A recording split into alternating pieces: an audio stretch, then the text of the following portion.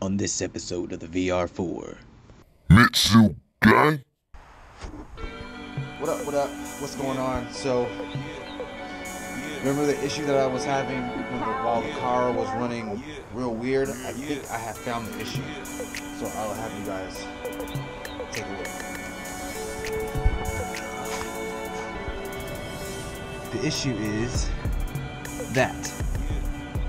That is the issue of why the car is hesitating while I'm driving and while the car is running shitty right now. And now I'll show you the upside of what it looks like and where it is.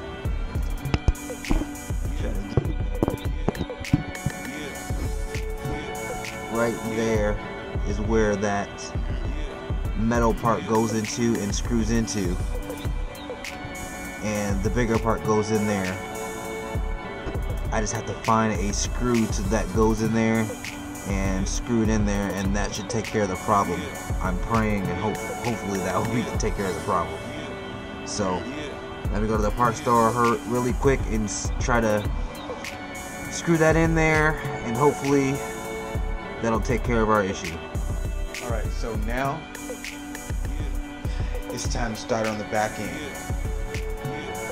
Take these lugs off, jack up the car, take the wheel off, and then Randy's gonna take off all the other stuff, and then I'm gonna do some more painting, and then you guys are gonna see the transformation of the back end. Okay, so I jacked up the car. Now I'm getting ready to take off the tires. All of these lugs right near are loose. Now it's time to take off the tires. So I'm getting ready to wipe both of these wheels down and then start the spraying. And I'll let you guys see what that looks like right about now that both of those are done. Randy's gonna come over here tomorrow. He's gonna undo the back part, the caliper, the rotor, and everything, everything, and switch out all of the ball joints in all those. And then, and then I'll take the caliper, paint those, and we'll just be on and moving to the next part and just slap it right back in. And then the back part will be done. So I will let you guys know once I get all this stuff done. These are almost done drying. That one's basically done drying already. This one's done is about to start drying right now. And then I have to get the part for that. I think it's just a bolt that I have to get for the top part. I'll get that and hopefully fingers crossed that'll fix that issue. So, in this part, we are working on the drums and trying to get the the rotors off first to be able to get to the drums to get to the hub and to replace the hubs with the new hubs that I had gotten. Uh, we were starting off trying to get the caliper off. Well, actually, he got the caliper off, and then we're working on. He's working on getting the rotor off, which took a couple bangs or whatnot or whatever. We had to go with the curl bar. Um, there were some screws that we had to unscrew out as well that was keeping it in, and then he pried the uh, the rotor away from where the brakes were, and then we was able to get the rotor off, which exposed the drum brakes. So we finally got the rotor off. Now I did a little bit of inspection of the rotor just to see what kind of braking uh, that I was doing and the other guy was doing uh, before when he had the car and the first time when I had the car before when it was driving. And they seemed pretty okay. Um, didn't really matter anyways because I had brand new ones anyways. So now Randy's trying to re-familiarize himself with this old technology because they don't use it anymore for these drum brakes because it's a, because it is a 91 uh, 90s car, 91 at that. They have a drum brake system where it, it includes these two brakes that uh, that clinch when you put your e-brake on, as well it has a lot of springs, cables, pins, nails, and stuff that you have to install into the new, you know, your new drum brake system. Sometimes they give you new parts, sometimes they don't. I had to get new parts uh, from Napa because they didn't come with the new ones that I ordered. So, again, the new tech, this old technology, uh, it just blew my mind. But getting past that, he had gotten the uh, the drum brakes off, and now he's just working on getting the rest of the springs and other components that are around and in the drum brake system out so we can change them and install new parts and everything for the new for the new parts that we had gotten in. Alright, so now that we have gotten the drum, the old drum brakes off, Randy's just working on the other bolts that we have to do to take off to be able to have access to the hub. Um, unfortunately, I don't know what the heck I was doing with this. He had to refamiliarize, like I said before, again, how to switch these out. I did my research for these rear hubs. And from all the videos and from the descriptions from one of the descriptions that I had read once you take the rotor off the hub should just fall right off with it. Or you know you can use a press to take it out I guess normally. But for this particular one uh, we were kind of challenged to find out how the hub comes off. Does it come off through, you know, before what I had saw on um, the other videos, how it came off with the rotor, or do we have a bolt behind uh, the whole assembly suspension part behind the uh, where the axle goes, kind of the behind the behind the hub? Do we have to undo that big bolt and then the hub comes off?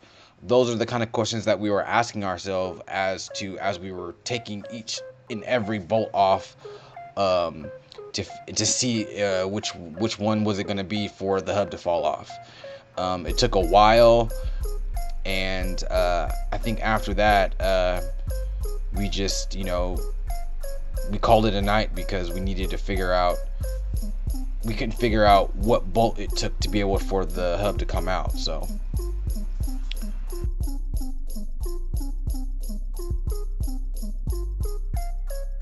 So, while we're waiting for Randy to finish, we have to press those hubs out because it's not.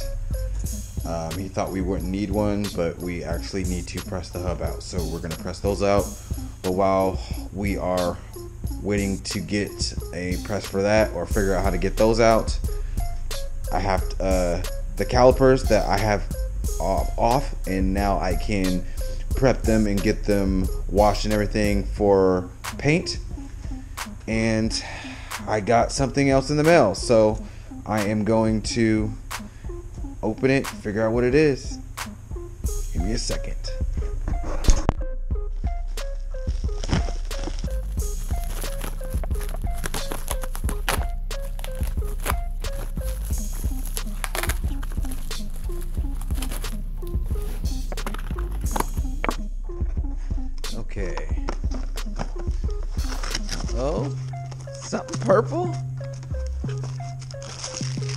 Okay. This is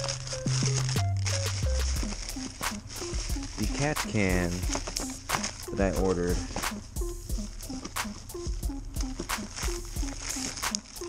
It should go very, very nice with my engine bay. That looks awesome. here. I think my catch can is somewhere over here, but we'll just go there. Put that there. We'll be barely be able to see it, but it's whatever. Still looks good. Goes with that. nice. So we got that to add to the addition. Things are coming along, guys. I'm liking the new catch can.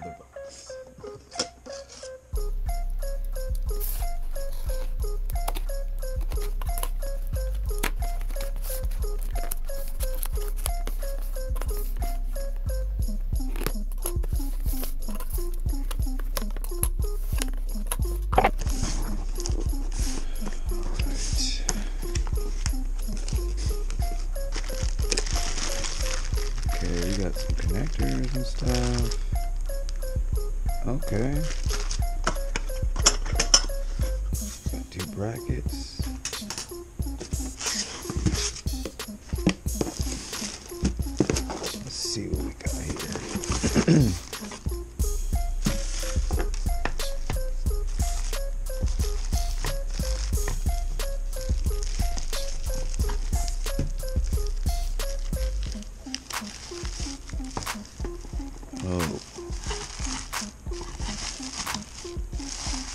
Oh. Oh. This is going to look very good in our double din. It's all Android connected. Android product operated manual. Got all the connectors and everything. So I will be making a video on this pretty soon after the back suspension is complete. I can't wait to put this in, guys.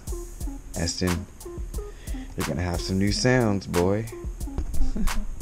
As well, I'm going to be starting to paint the back calipers uh, for the rear uh, suspension. So uh, I'm going to be getting this done and uh, I have to get the drum brakes. I forgot those.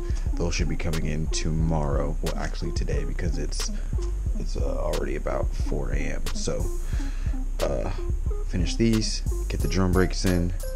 These should be done later on today, and I will let you guys see them when they get done. And when the drum brakes get in, I will open up that package uh, and have you guys see that. What up, guys? All right, I'm back at Randy's house.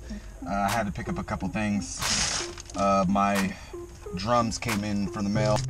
I will be, well, we will be putting, taking off the hubs, uh, putting in the new drums, and uh, putting on the new rotors. I'm gonna have to finish the uh, the calipers and putting everything back together, and we should be done. And I can hopefully start the car once we put that new bolt in from the AC. Out this hub puller is too small, so I'm going back to Harbor Freight, and I'm going to see what other stuff they got going on because this one's not doing the job. What up? What up? Welcome back. So it is Sunday. I am going to. I had to source out the springs and everything. This old technology for my car for 91. It's not really available at O'Reilly's or even at like Napa or something like that. So I got my package in the mail from Amazon for my drums and everything, and it didn't come with springs. So don't mind that noise. That noise is my ball joint. Uh, I'm waiting for the package to fix all that soon. But anyway, uh, I didn't come with springs, so I had to source out springs for the drums for the back of the car. So I had to call around two different places, three different places. They didn't have them. So then I finally called Napa. Uh, Randy has searched the part and they said they have have it in their warehouse.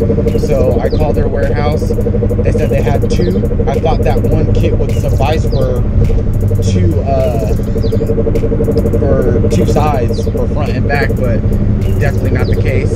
I have to get two kits. So luckily they have two kits left at their warehouse. So I'm on my way now to go get those uh, those kits.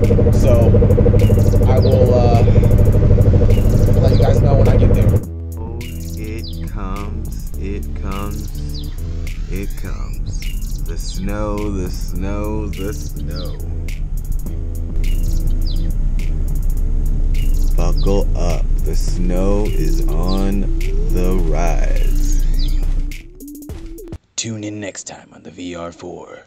Mitsu Gang?